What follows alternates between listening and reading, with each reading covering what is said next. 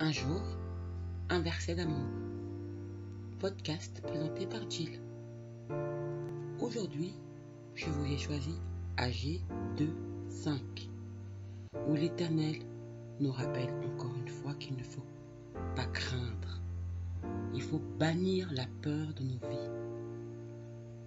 Et voici donc sa parole.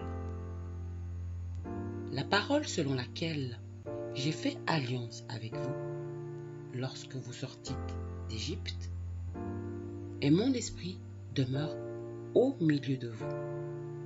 Ne craignez pas. AG 2.5, version Barbie. Oui, l'Éternel nous demande de ne pas craindre. Ne craignez pas. Il ne faut pas craindre. Sois fort, quelle que soit la situation que tu traverses. Rappelle-toi, le Seigneur est avec toi